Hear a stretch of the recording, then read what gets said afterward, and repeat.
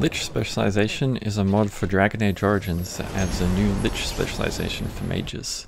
The Lich's abilities focus on life drain and minion summoning. The first ability you get as a Lich is Death Bolt.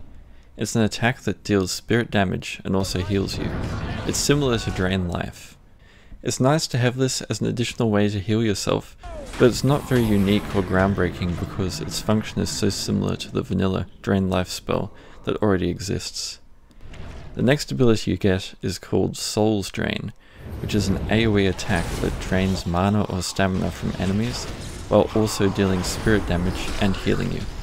It's a very good spell, but has a long cooldown. When you're surrounded by enemies and heavily damaged, this spell can heal you right back up to max health. Undead Swarm is my favourite ability. It is a sustained ability that you cast and it will raise nearby corpses up as skeletons to fight for you. I did some tests and the corpses must be humanoid and must also not be skeletons. They've got to be fleshy humanoid corpses, like fallen humans, elves, dwarves, or darkspawn. For this reason, I'd avoid looting corpses until you've already summoned your minions. The radius of the spell is rather wide, but not super wide, so try to make sure that all your enemies die in the same area. The skeletons will persist permanently so long as your ability remains active. Unfortunately, the skeletons disappear when you change areas. The spell raises a maximum of 3 skeletons, but this is raised to a maximum of 6 when in Lich form. More on that later. The type of skeleton spawned seems to be random. You can get skeleton warriors and skeleton mages, as well as elite forms of either. The equipment used by the skeleton warriors varies, and can be anything from sword and shield, to daggers, to bows and arrows. I haven't seen skeletons of two-handed weapons yet, but maybe that's also in the cards. The abilities of the skeletons seem to be randomized too, but they don't have many abilities, only a couple. You can't check what they have unless there's only one of them, because when more than one skeleton is there, the portrait disappears. The skeletons can be healed using standard healing spells. The final ability of the Lich specialization is Lich Form, which is a sustained ability that transforms you into a Lich. The appearance of the Lich is the same as that of an arcane horror, and while in this form, you get increased spell power and armor, as well as extra health and mana regeneration, but you cannot restore health or mana using potions. Lich form also raises the skeleton limit up to 6, which is really nice.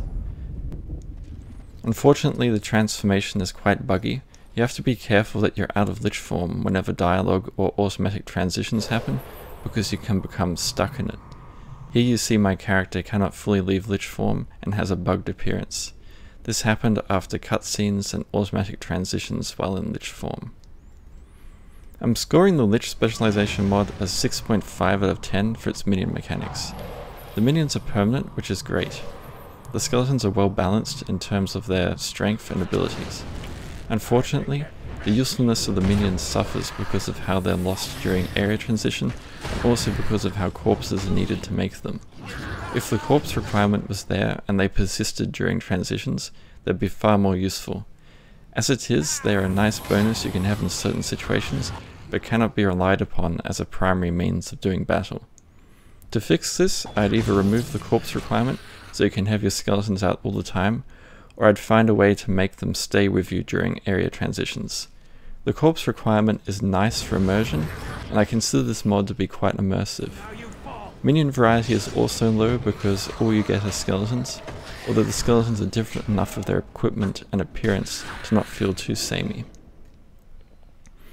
This is a good mod if you're looking for some minions on the side or you really want Lich form, but if you're considering it for a purely minions based playstyle, I'd recommend the Conjuration mod instead, which I did a video on several years ago. That mod has more minion variety and also no corpse requirements, so you can have your skeletons out with you all the time, which makes the minions playstyle really feasible. Although in the Conjuration mod the number of minions is far lower, something like 2 or 3 at a time, not 6 like this mod. Another problem with the Lich specialization mod regarding a minions playstyle is that you will not have any minions until level 12, which is quite a long wait, whereas in the Conjuration mod you can have your first skeleton right away at level 1.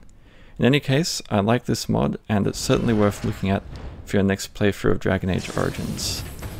Thanks for watching, I've got more videos on necromancy stuff coming soon.